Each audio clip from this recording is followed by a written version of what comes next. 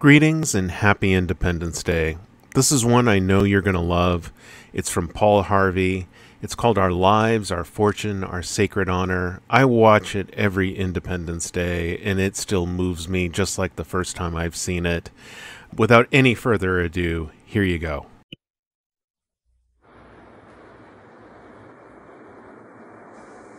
Americans, the how and the why of our beloved republic are so much better known and understood than the who. The United States of America was born in 1776, but it was conceived 169 years before that. The earliest settlers had watered the New World with much sweat. They had built substantial holdings for themselves, for their families. And when the time came to separate themselves from a tyranny an ocean away, at best it meant starting all over again after the ravages of war. Researching what you're about to hear gave a whole new dimension to my reverence for our nation's first citizens. All others of the world's revolutions, before and since, were initiated by men who had nothing to lose. Nothing to lose. Our founders had everything to lose and nothing to gain, except one thing.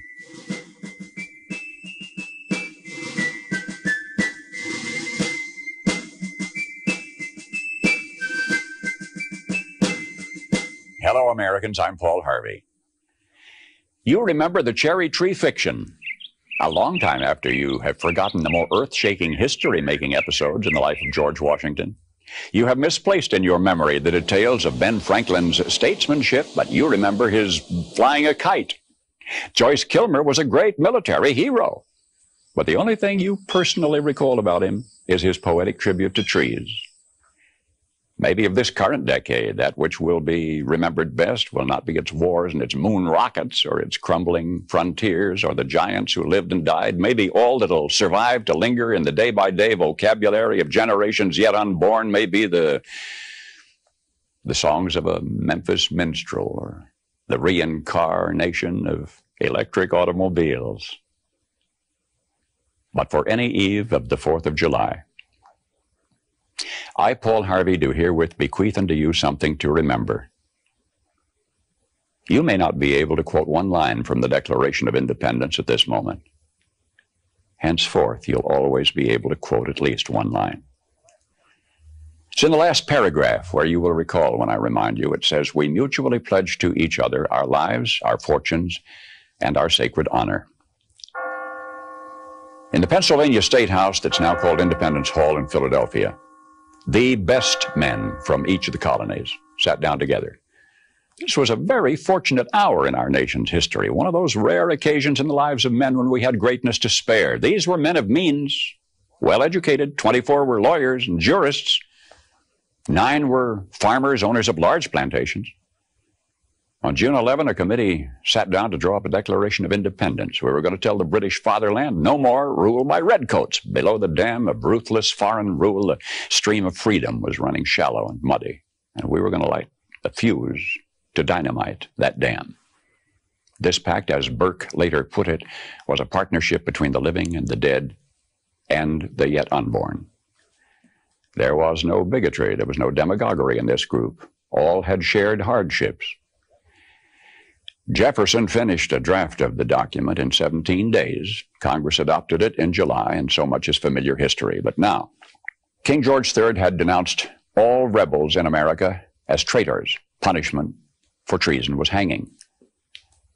The names now so familiar to you from the several signatures on that Declaration of Independence, the names were kept secret for six months for each knew the full meaning of that magnificent last paragraph in which his signature pledged his life, his fortune, and his sacred honor.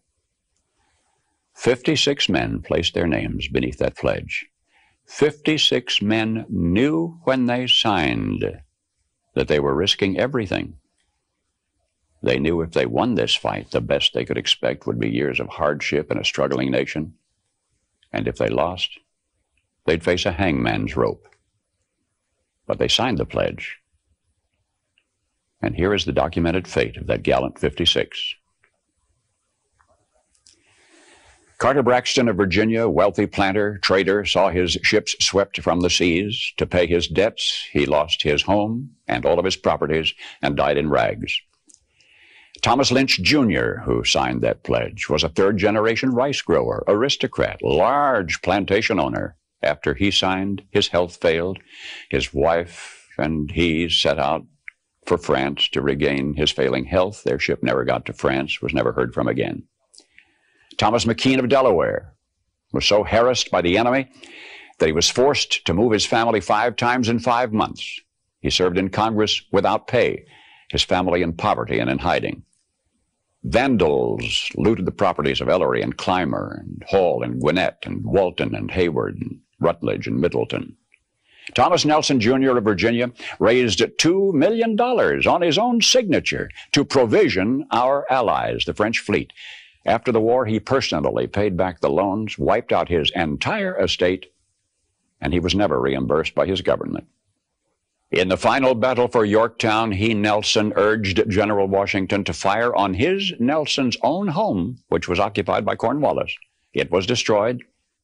Thomas Nelson Jr. had pledged his life, his fortune, and his sacred honor. The Hessians seized the home of Francis Hopkinson of New Jersey. Francis Lewis had his home and everything destroyed, his wife imprisoned. She died within a few months.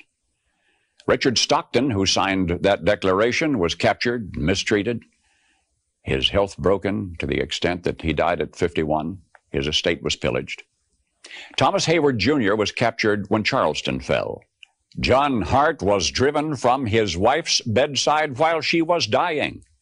Their 13 children fled in all directions for their lives. His fields and grist mill were laid waste. For more than a year, he lived in forests and caves and returned home after the war to find his wife dead, his children gone, his properties gone, and he died a few weeks later of exhaustion and a broken heart. Lewis Morris saw his land destroyed, his family scattered. Philip Livingston died within a few months from the hardships of the war. John Hancock, history remembers best due to a quirk of fate rather than anything he stood for, that great sweeping signature attesting to his vanity, towers over the others one of the wealthiest men in New England. And yet he stood outside Boston one terrible night of the war. And he said, Burn Boston, though it makes John Hancock a beggar, if the public good requires it. So he too lived up to the pledge. Of the 56, few were long to survive. Five were captured by the British and tortured before they died. Twelve had their homes from Rhode Island to Charleston sacked, looted, occupied by the enemy, or burned. Two lost their sons in the army. One had two sons captured. Nine of the 56 died in the war from its hardships or from its more merciful bullets. I don't know what impression you had had of the men who met that summer in Philadelphia. But I think it's important that we remember this about them. They were not poor men. They were not wild eyed pirates. These were men of means. They were rich men, most of them, and had enjoyed much ease and luxury in their personal living. Not hungry men, certainly not terrorists, not irresponsible malcontents, not fanatical incendiaries. These men were prosperous men, wealthy landowners. They were substantially secure in their prosperity. They had everything to lose. But they considered liberty, and this is as much as I shall say of it. They had learned that liberty is so much more important than security, that they pledged their lives, their fortunes, and their sacred honor and they fulfilled their pledge. They paid the price, and freedom was born.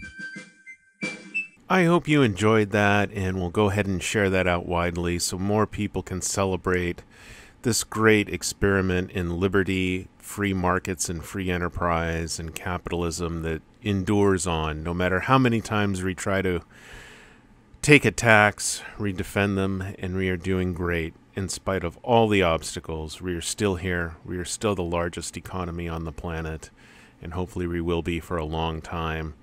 Uh, this community keeps growing. I love reading your comments, they are fantastic.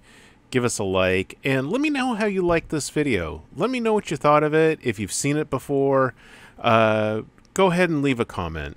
Thank you so much. If you haven't already, please check out and install the Brave browser. It is the best for speed, compatibility, and privacy. If you're using it already, go ahead and hit that triangle up in the corner, and it's a great way to show your support for this channel. You can also earn basic attention tokens when you use Brave, which you can convert to Bitcoin, US dollars, whatever you want. It's a great way for you to earn the ad revenue instead of the other guys. In the description, I have some referral links for products I use myself. There's one for the American Express Amazon Prime card. Immediately upon approval, you get $125 deposited into your Amazon account. You don't have to spend $1 on the card. It is the best deal out there.